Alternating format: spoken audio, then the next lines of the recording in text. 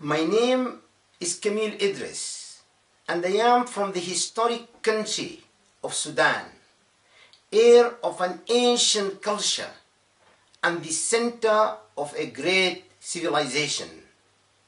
Sudan sits at the strategic crossroads of Africa and the Middle East and is a vast area of fertile lands, abundant livestock, and immense, as yet mostly untapped, natural resources.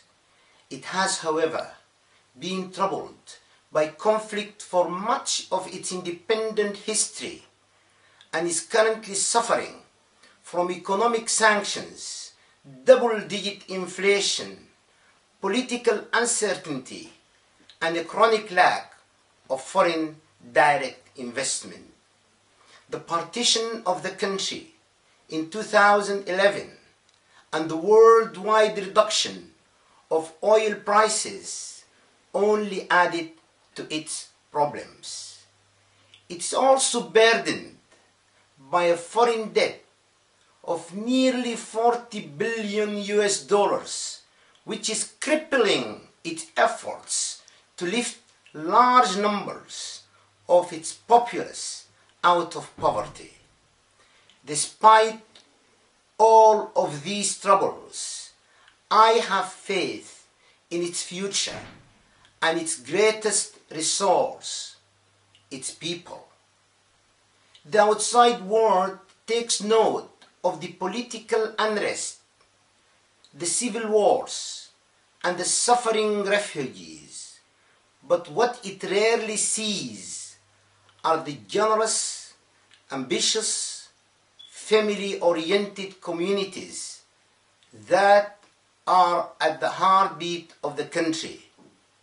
I know my country well, and the vast majority of its citizens wish only for a chance to bring their children into a world where random killings of innocent civilians are condemned and where human rights, tolerance, freedom of speech, and of religion are the primary values.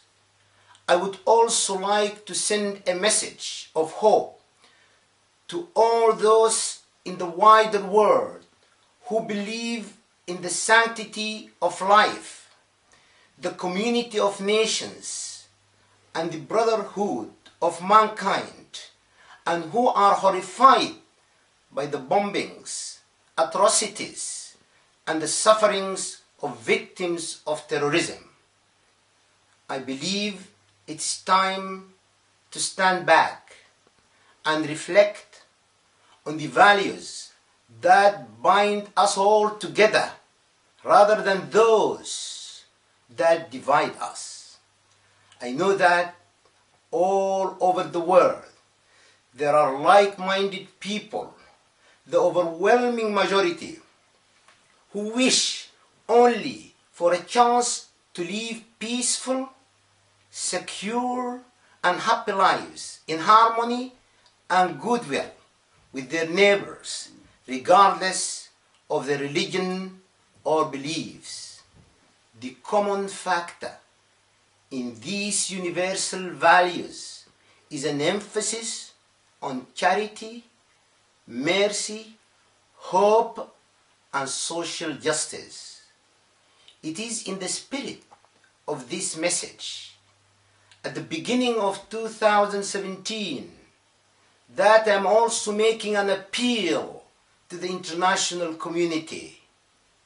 If Sudan is to rejoin the Brotherhood of Nations in the not too distant future, it must be as a proud champion of the intrinsic values we all recognize.